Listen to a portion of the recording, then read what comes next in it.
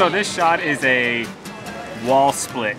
I have a 10% fail rate on new poses, so I'm, I'm hoping this one's gonna work, but uh, it's gonna be very difficult on her. And then you just kind of go down.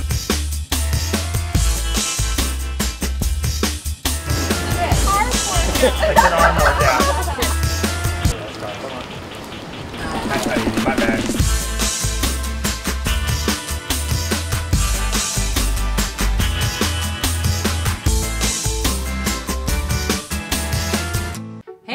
YouTube, Ashley Graham here, and if you like what you see, make sure you subscribe right here.